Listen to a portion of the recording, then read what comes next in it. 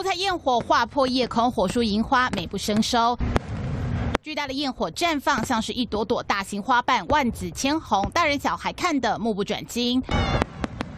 二零二四年国庆焰火首度移师云林，预计在十月十号的晚间八点释放。当天的焰火长达四十一分钟，县府提前释放，全程三分钟，总共一千两百多发烟火。那你从哪里来？参与，所以就想要想说要大家给一个回应。有人看得很兴奋，但也有人意犹未尽。看烟火就是要起承转合，可是就是因为三分钟太快了，就觉得还好，很失望。怎样失望？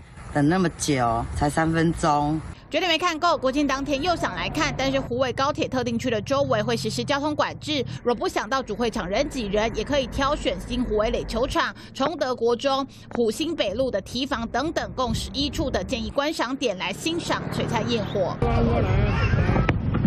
若实在不想进市区，在地人也私下推荐，可以到古坑的华山上，从高处来看烟火，也别有一番趣味。接六兵卢俊杰在锦城云林采访报道。